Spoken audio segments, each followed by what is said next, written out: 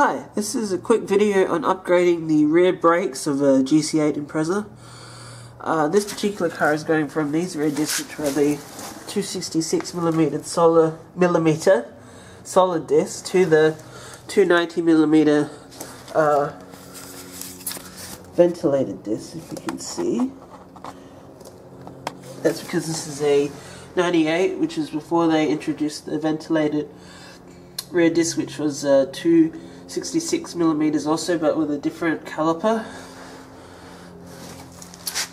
Uh, however, on the later GDA models and on some of the very early uh, RA and 22B models, they also used uh, this fixed two-piston rear caliper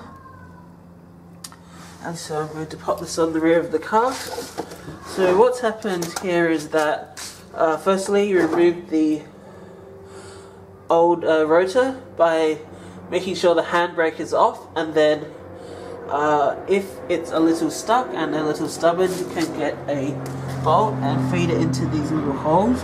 Uh, and that should tend to do the trick to help uh, uh, release the stuck rotor from the hub here and then obviously check the condition of the hub. If it's quite clean and flat like the case here then I wouldn't worry about cleaning it.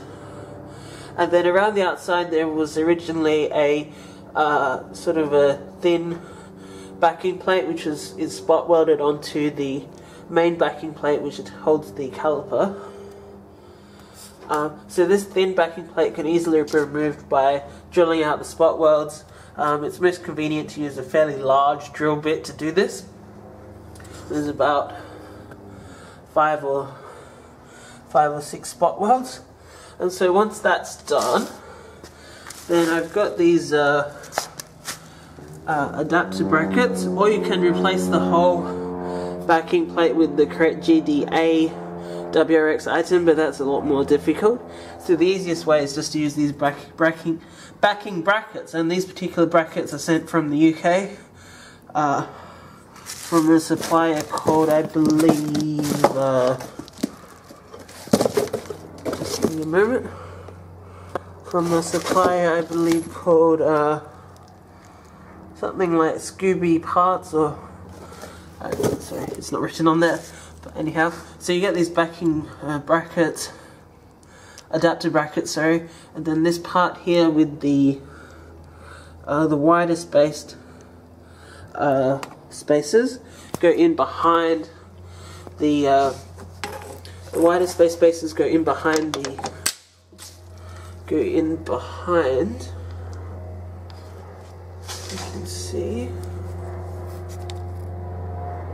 that there's a spacer that goes in behind the original uh, flange on the backing plate and you just bolt in the X bolt from the front. And then this holds on the dog bone.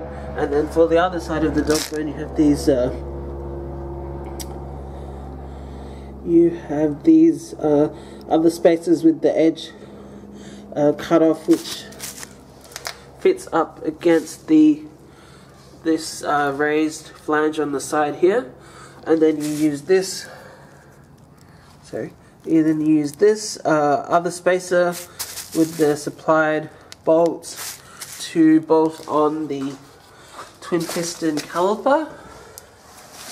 Here which you can see uh, has the uh, sorry oh they're there which has the same uh, mounting points as the later GDA WRX model and that gives you the fixed caliper and you just simply so so to assemble it it's simply a matter of uh, throwing on the bracket throwing uh, putting on the uh, rotor with the correct um, 170 millimeter handbrake uh, drum for the WRX models. The, STI models had a 190mm handbrake drum. That's for the uh, original GC8 WX model, uh, STI model, sorry.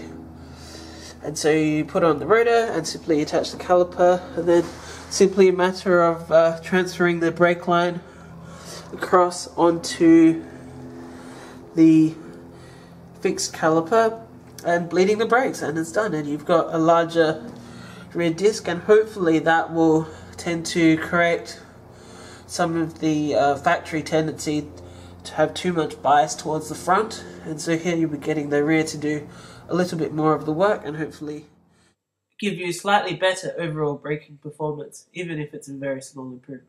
Thanks for watching. Cheers.